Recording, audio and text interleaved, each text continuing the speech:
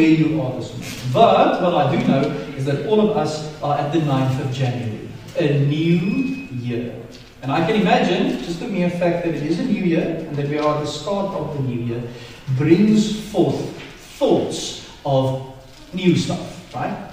New rhythms, new hobbies, new works, or new, new goals at work. Um, it might be new rhythms and things that you want to do. It might even be a new house. It might be a new job. It might be a whole bunch of new stuff.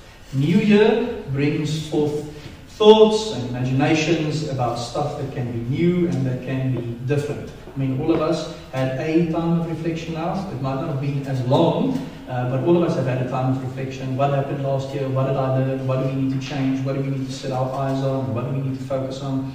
I mean, even for us, just as a household, we have a child in grade one this year, which means two different schools, which means a different rhythm of getting up in the morning, which means a different rhythm of extramural activities, which means a different budget of things that we have to do, which means a different uh, involvement in the lives of our kids and in the school, which means, which means, which means. I mean, that's only one child going to grade one in Doornkloof on Wednesday. I mean, with that comes this knock-on effect of reimagining stuff, making new decisions, and implementing new rhythms. Now, the start of the year is a good time for us to stop and to think and to pray before we get going with everyday life. It is a unique window, it's a unique opportunity we have to say, instead of just flying into this year and winging it or making it up as I go, let me just stop. Let me stop. Let me think. And as I think, let me pray. And after I've prayed, let's go. So, this new series that I'm kicking off this morning will explore four themes from the Psalms that will compel us to stop, think, and pray, and then go. So, these truths that we learn from the Psalms, guys, I believe it's stuff that we can build our daily lives on. It's stuff that will be able to sustain us, whatever this year might bring, because we are only at the 9th of January. It's truths that are meant to be something that we can recall at the start of each day. It's truths that we should be able to live from. It's truths, for me personally, that's a breath of fresh air. It should help us to feel revitalized and inspired, and refreshed, full of life and vitality at the beginning of this year. It's way more than just hashtag new year, new me. It's way more than a new diet or a new training regime or new rhythm. It's stuff that you can draw from every single day. It's stuff that you can build your life on, actually. And I want to leave us with these four things over the next four weeks so that we really have a solid foundation to build on as this year progresses. One of the questions that I think we need to ask in the beginning of the year, taking into account what might lie ahead for us, is also what does the Lord mean to us in times of disappointment, in times of pain, in times of loneliness, in times of illness, in times of anxiety, in times of fear, in times of temptation, and in times of doubt. Like if I would ask you now, just think back about 2021. When did you have disappointment, pain, loneliness, illness, anxiety, fear, temptation, and doubt? None of us will be able to say, I experienced none of those. I had a paradise and perfect year, tar. Thank you very much. None of us had a perfect year last year, and I can guarantee you that none of us will have a perfect year this year because everything has not been made new we do see God's kingdom breaking through, absolutely. We do have His presence with us, absolutely. We are empowered by His Spirit, absolutely. There is good news for us every day, absolutely, while we live in this broken world. And a good question to ask yourself before we head into this year is what does the Lord mean to me in times like this? And that's why we need to stop and think back about when we did experience these things and how we experienced the presence of the Lord in it. Okay, back to the song. Here's what the song says. I'm just going to throw up a slide for you. I know it's really boring. It's bullets. It's for the left brain folk. Please forgive me. But here's what the psalm says. I want you to have a grip on the psalm. This is a song of trust. Every single song has a type or has a genre. Right? Some of it is praise, some of it is praise, some of it is lament, some of it is historical, some of it is meant to be sung as a song. This is a prayer of trust. It's a song that is meant to help us to put our trust in God. And here's what it says it speaks about God's loving care, and it's illustrated to us by two images God as a shepherd and God as a host. First four verses, God as a shepherd, and the last two verses, God as a host. This is, so, this is what we are invited into. Put your trust in God, the shepherd, and the host. And this is the structure of the psalm. I put a fancy schmancy word in brackets there, chiastic. It means that it's arranged in the form of an X. So we start with something, we finish with something, and there's crossover in the middle. So it starts with a confession, it starts with a witness, it starts with a statement that says, This is how it is. And then it has a prayer of trust. Therefore, I will trust. And then it has another prayer of trust. And then it gives a reason why I'm trusting. And that is a confession and a witness again. Do you guys see it? Remember, this is a poem, guys. And we need to study it like a poem. So it's a poem that kicks off with a grand statement and it ends off with a grand statement. And in between, it tells you why I believe in this. And then it reaffirms my belief in it. Okay? So there we go. That is what the psalm says. Now, God is frequently represented or described or characterized as the shepherd of his people. If I just give you a couple of text uh, references, in Psalm 80 we find it, in Isaiah 40, Isaiah 49, Isaiah 63, Jeremiah 23, Ezekiel 34, Psalm 74, Psalm 79, Hosea 4, etc. So many times in the Old Testament, God gets represented as the shepherd of his people. Grand scale, big God, big people, big mission, big history. What I want you to see as we read this song and as we go through it is that there's the personal pronoun my in the song. Do you guys see it? I mean, I love the whole well, we, not me vibe of the church, right? It's not about me, it's always about us, and always part of the body. But sometimes, guys, when we get to scriptures and we stumble upon the word my, we really have to stop and think about this. Because not only is God our shepherd, God is my shepherd. It is a very personal, very individual statement that we need to take really seriously. Because if you say and confess and witness and pray that God is your shepherd, it means that you know Him. It means that you have a relationship with Him. It means that there's substance to the words of the confession that He is your shepherd, that He is my shepherd. And that's really crucial for this song. And then what you'll see is so He's my shepherd, and I make my own personal confession that says, I have what I need. And then the psalm describes in a very personal, first person and second person way how he is a shepherd in verses 2 to 4, and also how he is a host and how he gives me what I need in verses 5 to 6. Okay? So he doesn't speak about God in the third person or himself in the third person. He speaks about myself and God, I and he, he and I. It's a personal experience that the psalmist or the psalter or the writer of the psalm speaks about and writes about. It's not a lot one can say about six verses. Right? I mean, this is only introductory remarks. But I want you to think of the psalm as Zita read it. I want you to take into account what we are dealing with here. And I want you to pay attention to the very personal nature of the psalm. And then we will look at what the psalm means. Are you guys good? Are you still tracking? Okay. Now let's look at what the psalm means. Now, every psalm has a type. I just said that. And every psalm also has a situation in which it was written. Like someone had to sit down and actually write it and copy it and distribute it and people had to receive it and they had to start reading it and they had to know where it came from.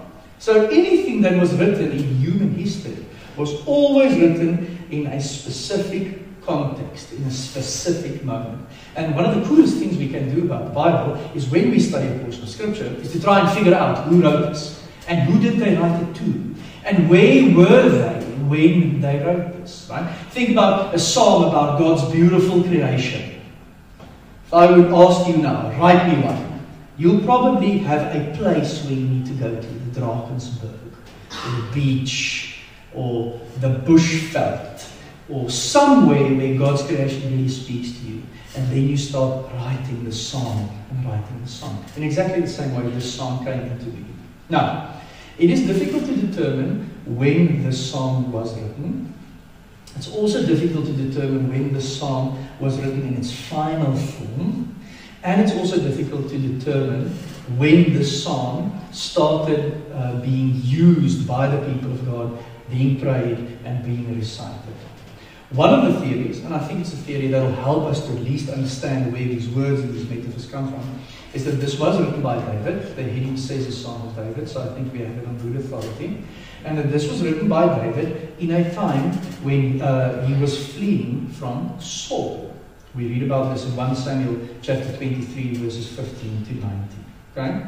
And I'm going to read it for us. It's not on the slide, but it's story time. And, and, because I think when we read this and then we look at the song, we go, my word, this is really, really compelling stuff. So listen to this a story from the Old Testament. David was in the wilderness of Ziph. I mean, 1 Samuel chapter 23, verse 15 now. David was in the, wilderness, in the wilderness of Ziph in Horesh when he saw that Saul had come out to take his life. Then Saul's son Jonathan came to David in Horesh and encouraged him in his faith in God, saying, Don't be afraid. For my father Saul will never lay a hand on you. You yourself will be king over Israel, and I'll be your second in command. Even my father Saul knows it is true. Then the two of them made a covenant in the Lord's presence, and afterwards David remained in Horesh while Jonathan went home. Some Ziphites came up to Saul at Gibeah and said, David is hiding among us in the strongholds of Horesh on the hill of Hachilah, south of Jeshimon. I'll show you photos of all of this now. Now, whenever the king wants to come down, let him come down. Our part will be to hand him over to the king. May you be blessed by the Lord, replied Saul, for you have shown concern for me. Go and check again. Investigate where he goes and who has seen him there. They tell me he is extremely cunning. Investigate all the places where he hides. Then come back to me with accurate information and I'll go with you. If it turns out he really is in the region, I'll search for him among all the clans of Judah. So they went to Ziph ahead of Saul. Now David and his men were in the wilderness near Maon in the Arabah south of Jeshimon, and Saul and his men went to look for him. When David was told about it, he went down the rock and stayed in the wilderness of Maon. Saul heard of this and pursued David there. Saul went along one side of the mountain, and David and his men went along the other side. I'll show you the mountain now. Even though David was hurrying to get away from Saul, Saul and his men were closing in on David and his men to capture them. Then a messenger came to Saul saying, Come quickly, because the Philistines have raided the land. So Saul broke off his pursuit of land. Uh, sorry, he broke off his pursuit of David and went to engage the Philistines. Therefore, that place was named the Rock of Separation. From there, David went up and stayed in the strongholds of Engedi. Okay, lots of names, lots of movement, but it's a real story that happened in history of David fleeing for his life from Saul. He's battling Doeg, the Edomite. He's battling Achitophel. I think that's a really nice name for your next Staffordshire, the Staffordshire Terrier. I'm joking. So David is in trouble. Okay, let me show you some photos. These photos that I'm going to show you now, I'm going to show you five of them, are real photos taken by me while I was in Israel. If we talk about the hill country of Judea, if we talk about the hill country and the mountains of the southern part of Israel, this is what we're talking about. Okay? So, I mean, it's not the most lush land you've ever seen. But there's some green. But it's really difficult to see what lies behind the mountains. And there's a lot of passes through the mountains to find your way. Okay? Just 30 minutes south, you'll see this kind of wilderness. Now that's barren, guys. I don't know about you. Does anyone want to do a December holiday there? Okay? There's not a lot going on. So all of these places that was just mentioned in this story is uh, written or happened in that context. That's where it took place. Lots of heat, lots of exposure, lots of danger, and not a lot of water, and not a lot of resting place. Let me show you another photo.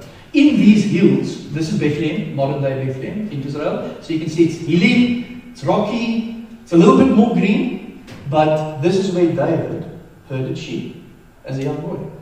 So he knew all about, I have to take the sheep over this hill, through the right path to get to the water that's on that side. The sheep know nothing about it, but I do, and therefore I have to shepherd them to that specific place. Right? It's not a place that's teeming with life and water and just lush greenery. It's rocky. It's hilly. Let me show you next photo. These are caves in these mountains where people hid. Because I mean, where should you stay? Think about that wilderness photo that I just showed you. If you have this plain of wilderness in front of you and you have to sleep safe tonight, where are you going to sleep?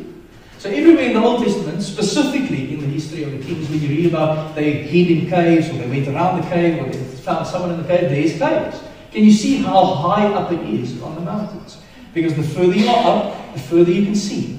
And the further you can see, the more you can know if danger is approaching. But this is where it all took place, guys. I mean, I read the story in two and a half minutes. These were days and weeks of history that played off in this specific area.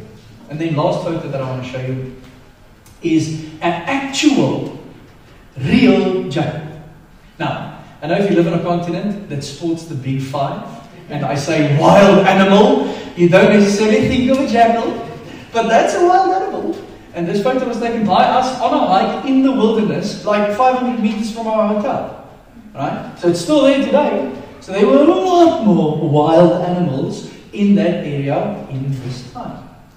Okay, now let's get back to the song. Think about how vivid these images are. If you are running away from someone who wants to kill you, you don't know where you're going, you don't know where your next meal will come from, but you need to find surety and trust in something. And then you sit down and you write a song like this. Isn't it just phenomenal? That's where this song was born. Now, the psalm says that I'll find abundance. I'll show you a photo of that now. The psalm says that he sets a table for me. The psalm says I have all I need. But what I want you to see is traveling in these circumstances does make one weary. Guys, living life in 2022 makes us weary, right? It's not easy. It wasn't easy for David, it's not easy for us. But in those circumstances, when it wasn't easy for David, he knew something about God. He confessed something about God that kept him going. Now, a shepherd is sure to lead his sheep to places of renewal. At the end of 1 Samuel chapter 23, it says, From there David went up and stayed in the strongholds of Engedi. Can I show you a photo of Engedi? I was there. Look at this. Palm trees, an oasis, shade, water, and caves. In the middle of nowhere. Guys, it's the weirdest. Like you're on the tour bus with the AC on, and then the tour guide says, right around this corner, we will find the historical site Engedi. And you can't see it. It's barren, barren land. It is piping hot outside. And then all of a sudden, you make one turn, and there's an oasis for. This is where David ended up at the end of the story. His shepherd taking him to green pastures we can lie down, we can be renewed for the sake of his shepherd's name. Does it help you guys to get some photos? Right? And to have a picture for where all of this came from. Obviously, if you just think about all the pictures that I showed you up until this point, I think for now you can take down the pictures, please. For uh, all the pictures that I showed you up until this point, there's a lot of wrong turns.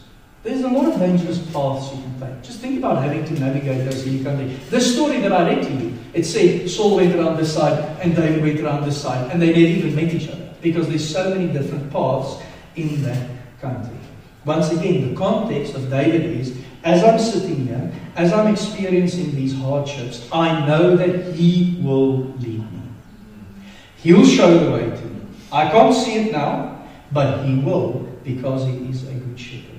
And what I love, just flip back to the psalm quickly, look at verse 3, the last little line. He renews my life, He leads me along the right paths. Look at that. For His name's sake. Have you ever read that in Psalm 23? Like, it feels to me we all know the start and we all know the finish, but we're going to skim over this line. So, who's God? God is the one that says, I'm, I'm making a covenant with my people.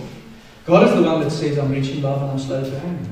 God is the one that says, I'll keep my side of the promise. God is the one that says, I will establish a family and they will bless the rest of the earth through my name. God is the one that said, What I created new, that sin broke, I will fix. So why is he doing what he's doing to David himself? Well, it's for his name's sake. Because God already stated in the Bible who he is, and now he is just being true to his name. He's being true to his character. This is who he is. He's a good shepherd. This is what I know and have done. Right? David, his experience. And this is what God does to me. He gives me what I need. See how the whole picture comes together. Can you guys see how David, sat in these circumstances, says, He is exactly what I need now. He is my shepherd. I have what I need because of Him. And in Him I will put my trust. I don't need to fear because He's here with me.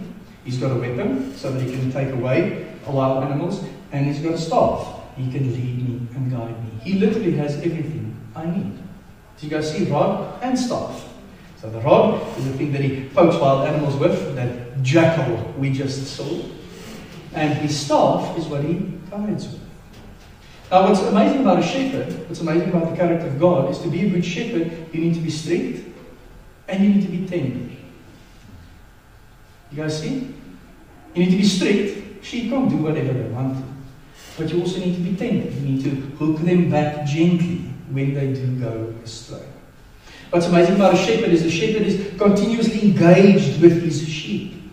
I think the fact that we always have still images of the shepherd and the sheep makes us think that being a shepherd means I'm sitting down and I'm staring at sheep the whole day, and then at the end of the day I give a little whistle and they'll come back. That's actually not how shepherding works at all. It is a very, very active job. You're continuously counting, you're continuously guiding, you're continuously checking, you're continuously making sure that the sheep, that the sheep is on the right path. Isn't it just beautiful that David describes God, the God of the universe, the creator and sustainer of all things, as one who's involved in our lives like that? Can you imagine? While he's running away, while he's baking in the red hot sun, while he's longing for an oasis like Engedi, he knows that God is right there with him, counting sheep, guiding him, and he's not um, apathetic to what he's going through. He's right there and very involved in it. I want to invite you to read the first four verses slowly again. Not now, somewhere today, tonight, tomorrow. And just really let this see. Think about the pictures that I showed you. Think about God as a shepherd. Think about how David sat down and confessed this trust in God in those circumstances. And just think about how awesome it is that God is my shepherd. God is your shepherd. That is our personal shepherd. Let's look at verse 5 to 6 quickly and then we'll jump into the Gospels. So in verses 5 to 6, there's one subject, and that subject is Yahweh. It's God Himself. And verses 5 to 6 describes what He does, how He rolls. It's abundance, it's joy, it's more than enough. Just to make sure that we are still human beings. Let me show you a photo of some food, right? I think that'll get the stomachs going for uh, a Sunday. This is the kind of table I wanted to be inclusive, right? So it's not a vegan photo, but it's also not a meat eater's photo. It's a little bit of everyone, okay? There's a lot of food on God's table.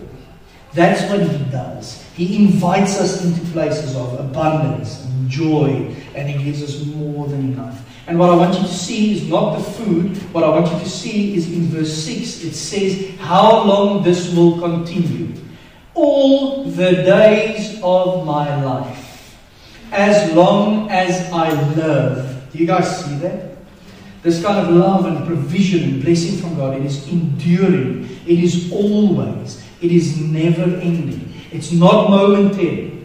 It's not predicated or dependent upon our performance. I often think that we experience something of God's blessing, and then when we do experience God's blessing, we feel like He doesn't owe us anything for the rest of the year because He was really good to us in January.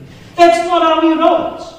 He's a host, He's a father that says, Come and sit at my table and eat even in the presence of your enemies. What I think David is trying to say in the psalm is it doesn't matter what's after me, it's not going to stop God's goodness. You guys see that? God's goodness and His blessing and His provision to me is not going to stop because something or someone wants me or is after me. It's going to continue. In that situation, guys, if we get up every morning this year and we confess that we have what we need, in the midst of many other things we might experience, we will experience that that is not going to stop. And that it's not dependent on anything else than God's goodness and His choice to bless us, to give His protection to us, to have intimacy with us, and to have communion with us. That's Psalm 23, verses 1 to 6. Are you guys still tracking? There's a lot there, right? We can go a lot deeper. I'm not going to go deeper now. I just want us to jump to the Gospels. Because Jesus gets described in the Gospels as the Good Shepherd. Now think about this. We have Gospel writers, we have people writing down the story of Jesus. We call them evangelists Matthew, Mark, Luke, and John. And for them, when they studied the life of Jesus, it was really easy for them to make the link back to the Old Testament shepherd, knowing that what this person is doing now is perfectly consistent with what the shepherd did in the Old Testament. Therefore, this person has to be God because this person has to be the God of the Old Testament that gets described as a shepherd. Think about it. Jesus feeds 5,000 people. We see it in Mark, we see it in Matthew, Mark 6, Matthew 14, Luke 9, and John 6. In all four Gospels, The story gets recorded. Well, it, it is a story about what? About provision. You need something, I have it. And I'm going to give you more than you can eat. Thousands of people, baskets left afterwards. This is what the God of the Old Testament promised He will do. This is what Jesus Christ is doing at the moment. Therefore, Jesus Christ must be God. It was an easy link for them to make because they knew that God is described as the shepherd of His people. Think about Matthew 11, verses 28 to 30. It's a very, very uh, well known portion of Scripture in which Jesus says, Come to me, all who are weary, heavy burdened, heavy laden, burnt out of religion Come to me, and I will give you a real rest. He, he, he makes me lie down, so let me just turn this back. He leads me along the right paths. He leads me beside quiet waters. Oh, okay. So that's what the God of the Old Testament said he'll do. This is what Jesus said he wants to do. Therefore, the God of the Old Testament and Jesus should be the same person. Jesus himself describes his character and the nature of God in his parables as a shepherd. Think of Luke 15 the parable of the lost sheep. He gets the described as someone that will not rest until I find the lost sheep. It's how it is. Very strict, they all need to be in order, but very tender. I love the individual so much that I will leave the rest and go and look for it. And then obviously we get Jesus Christ himself. Brilliant in John 10, picking up this metaphor and saying, This is who I am. Elaborating on what a shepherd does and elaborating on what it means for his people. Okay, so think about this rich history. We read the psalm that's consistent with God's character as it gets described in the Old Testament. The psalm was used century after century after century after century by God's people. It's always called people into trust. It's always described why people should trust Him. And it's always said that this is who God is and this is what He wants to do.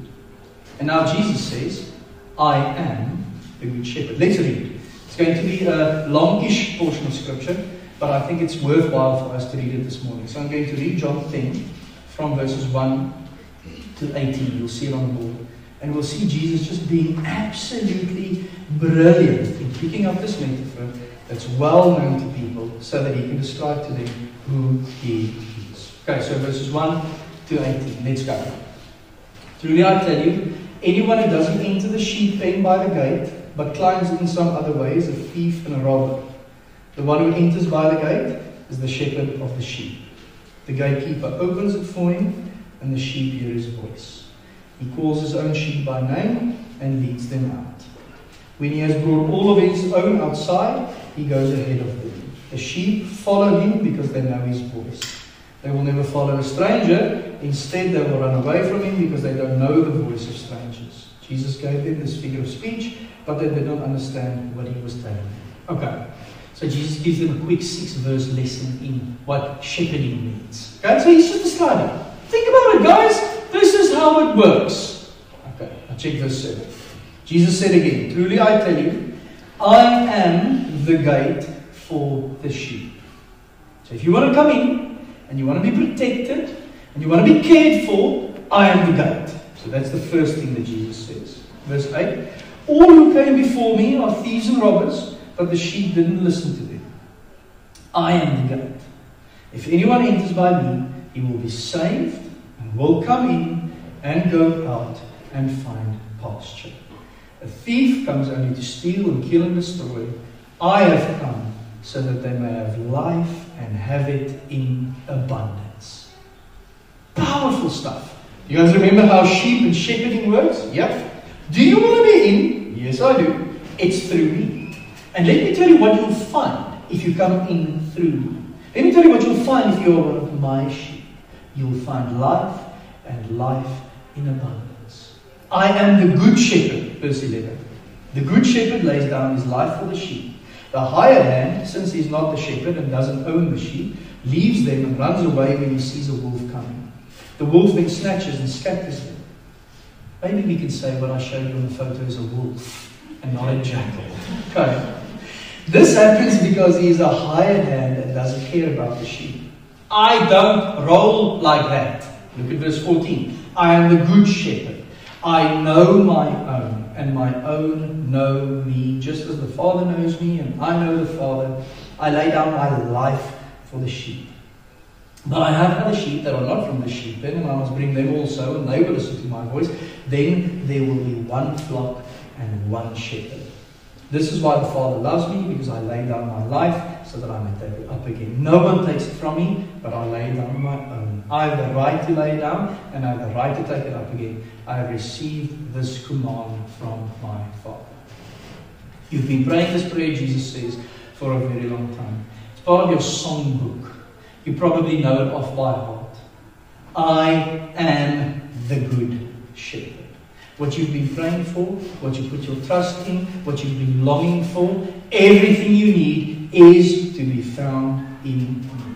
And look again at the personal nature. I know them, they know me.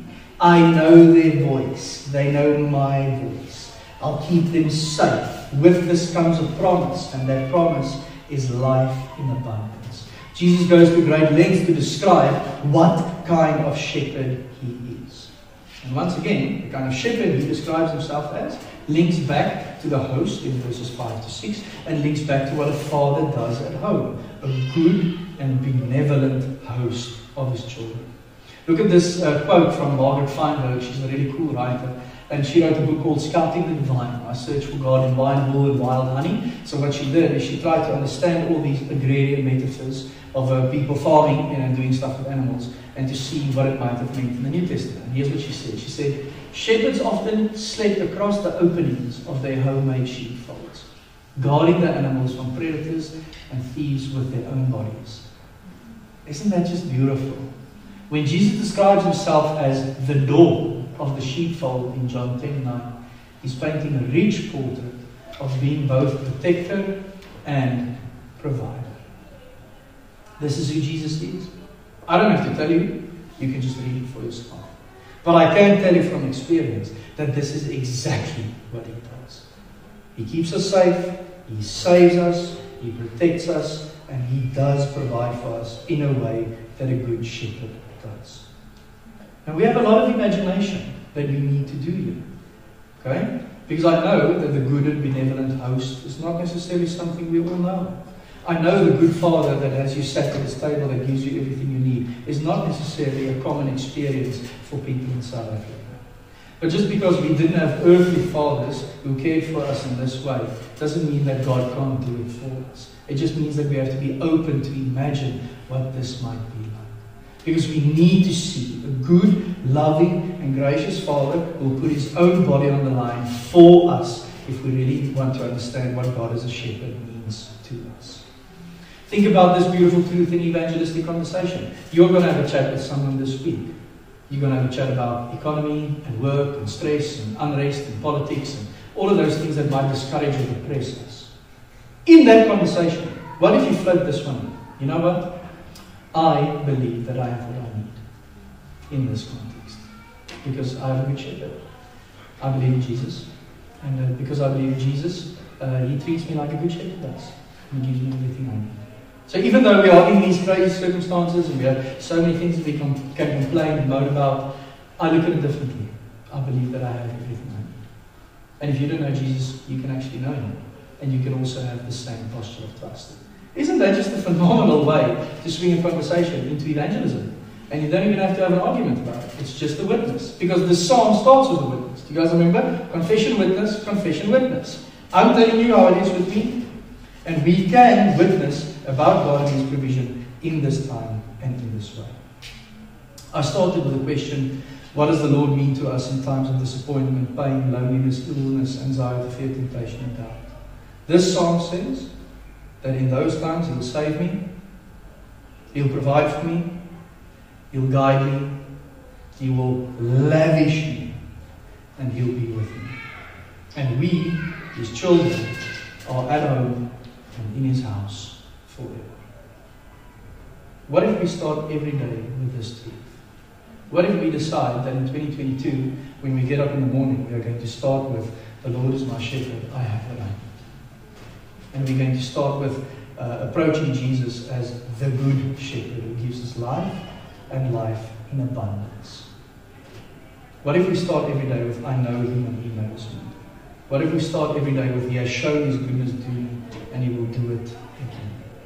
What if we just stop before we start this year? We think about this text. We pray that it will become true in our lives, and then we go and live our everyday lives. I think we will have a different year. I think we'll have a different perspective, and I think we'll be sustained. Not, not I think. I know that we will be sustained through anything this year can